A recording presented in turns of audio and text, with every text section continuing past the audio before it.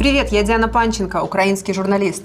Я лауреат премии «Журналист года» в Украине, автор ведущая самых рейтинговых программ на украинском ТВ. Сегодня я хочу поговорить с вами о правде. Вы можете спросить, почему вообще вы должны меня слушать? Сегодня мировые СМИ слышат только Зеленского, у которого уже нет рейтинга в нашей стране. И не слышат простых украинцев. Простых украинцев, которые хотят жить. Я хочу рассказать вам о них. Я одна из них. Президент Украины Владимир Зеленский ввел против меня персональные санкции, возбудил против меня уголовные дела, мне грозят пожизненным сроком. Что такого я сделала? Может, планировала теракт? Мне грозят пожизненным за пост в телеграм-канале, в котором я написала, что нужен мир, чтобы сохранить Украину.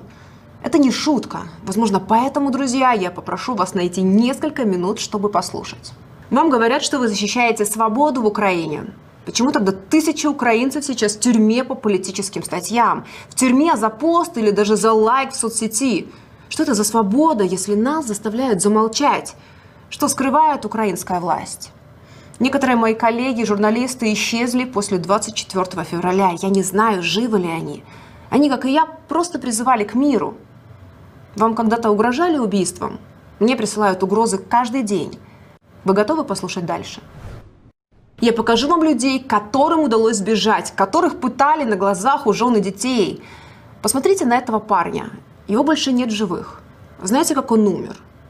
Он умер от выстрела в затылок. В него выстрелил пограничник, когда он пытался сбежать из Украины.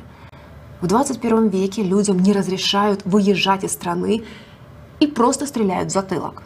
Граждане США выделяют огромные деньги на вооружение Украины – я прошу вас, коллеги, донести всему миру, куда идут эти деньги, как тяжело сейчас людям в моей стране.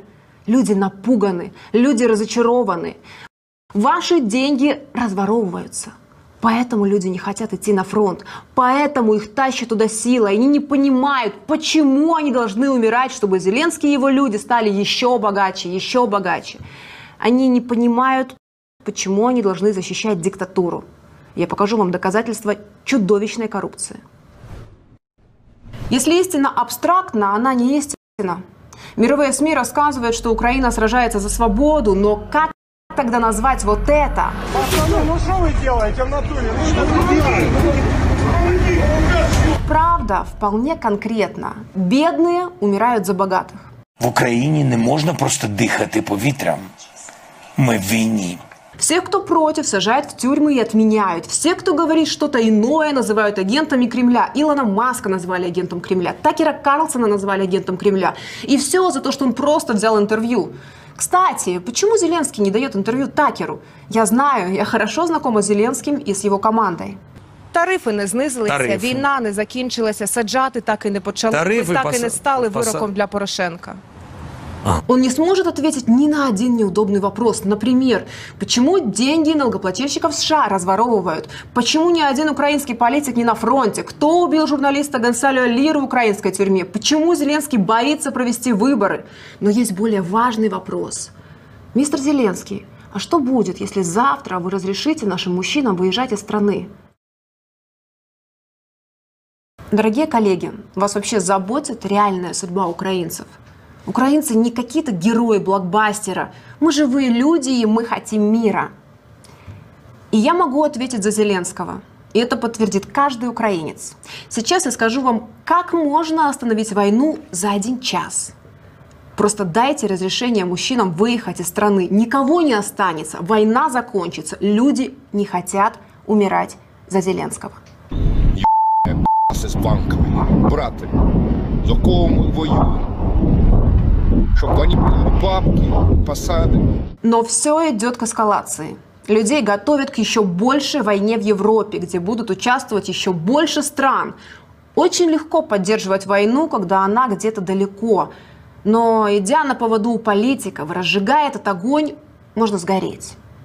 Мы никогда не были так близки к ядерному апокалипсису, как сейчас. Это хуже, чем во время Карибского кризиса.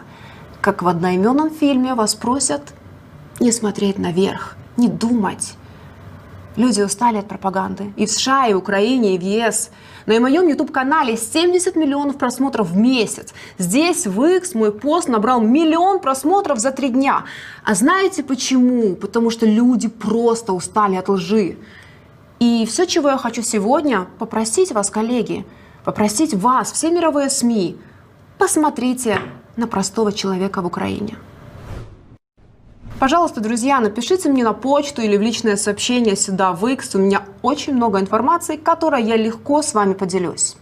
Также я буду вести свой видеоблог здесь в X и готова к любым интервью, к любым дискуссиям, к любым-любым вопросам. Война научила меня, знаете, всегда может быть хуже. Правда не абстрактна, и только правда может нас спасти. Мира нам, пока.